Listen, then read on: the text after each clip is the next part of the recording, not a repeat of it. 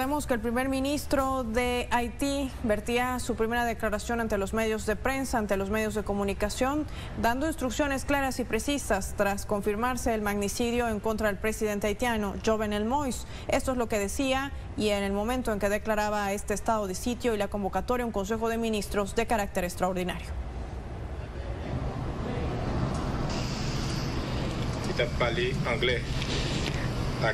Español. Hablar inglés, español.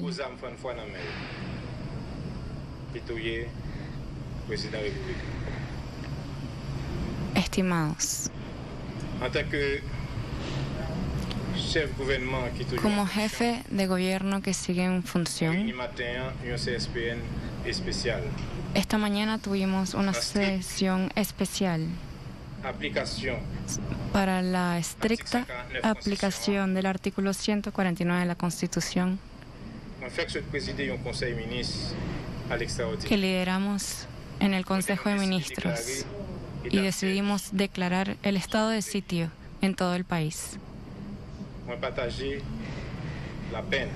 Hablamos y compartimos sobre la pena que nos da,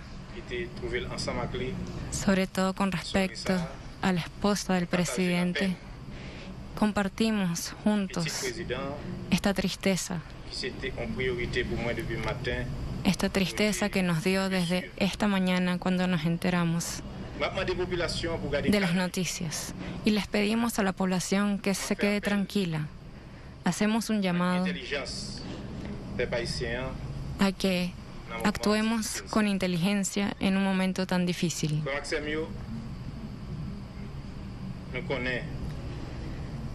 Nosotros sabemos que esto es una batalla. El presidente Joseph Moïse era un hombre muy valiente.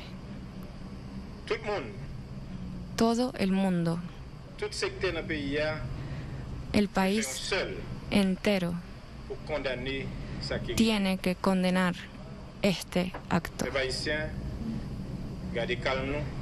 Los haitianos debemos seguir en calma y mantener esta situación bajo control. El Consejo de los Ministros se ha reunido para aplicar el artículo 149 de la Constitución y asegurar la continuidad del Estado. El presidente Joseph Moïse falleció por una injusticia una gran injusticia.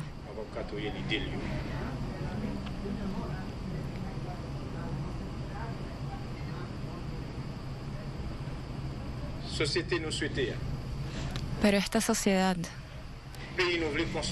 este país que está en construcción, debe buscar el respeto de los principios de esta democracia. Este asesinato inmundo por culpa de ideologías distintas. Debe ser condenado. La nación debe condenar este acto.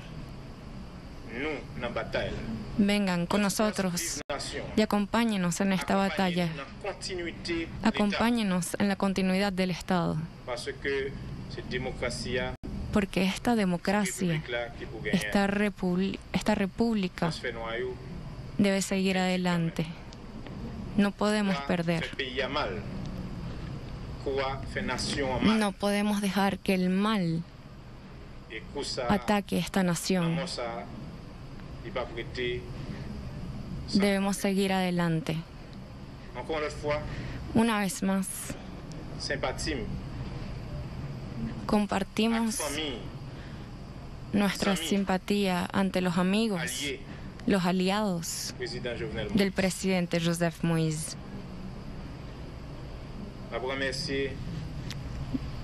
Les agradezco a todos por su solidaridad extraordinaria y su apoyo desde esta mañana. Este es un momento difícil pero debemos estar a la altura. Y el asesino del Joseph, presidente Joseph Moïse debe pagar con todo el peso de la justicia. Debemos mantener el control, la calma, mantener la nación unida de manera a seguir avanzando juntos. Muchas gracias a todos.